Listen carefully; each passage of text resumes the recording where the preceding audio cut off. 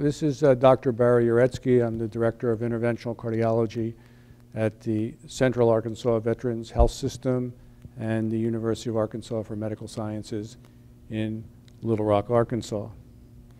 Uh, I've just presented at the International Academy of Cardiology on the value of post-PCI FFR, and I'd like to just share a few of the, the points we made. We, we know that FFR prior to uh, coronary intervention uh, is well accepted and used in stable ischemic heart disease patients who have angiographically intermediate lesions.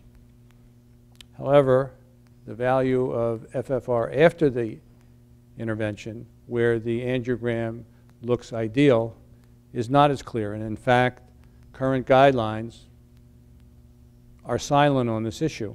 So uh, in our anecdotal experience, we found uh, it's a valuable uh, measure to take to assure that the lesion is well managed. Now, it would seem intuitive that the FFR after angiographic optimization should be uh, normalized, but in fact, there are reasons that it isn't. One of them is that some vessels have diffuse disease. And so that although the angiogram looks fine, the angiogram is a luminogram. It doesn't really tell you the true diameter of the uh, undiseased vessel. And so you can think that it's a completely normal when in fact it isn't. So that's one of the main reasons. And other reasons include the fact that angiographically inapparent lesions become more apparent when you treat the worst lesion.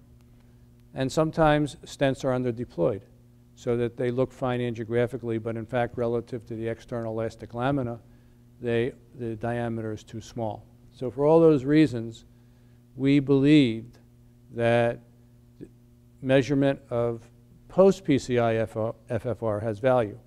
We reviewed our experience in over 600 lesions and found that the incidence of an actually ischemic or very low normal FFR was about 20%.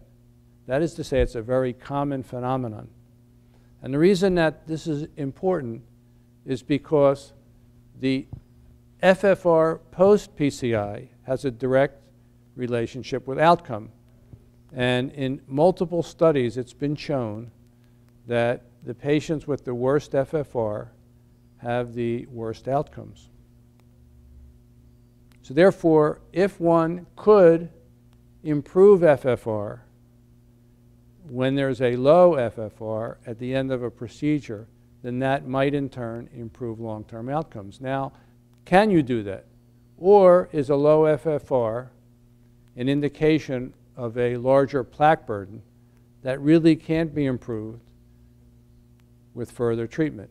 So we looked at this, and in the 600 plus patients that we uh, did FFR on, there was uh, incidence of 20%, or about 120 lesions, that had uh, a low FFR at the end of the procedure. In those 120 patients, we found that we could improve FFR from, on average, 0.78 to 0.87, or a 9% improvement in FFR simply by further treatment. And that further treatment was post-stent dilatation in 50%, stent plus post-dilatation in another 33%, and a combination of, uh, or, or, I should say 33% uh, with another stent and about 20% with stent plus post-dilatation. In about 10%, we imaged the vessel and because of diffuse disease did not do any further treatment.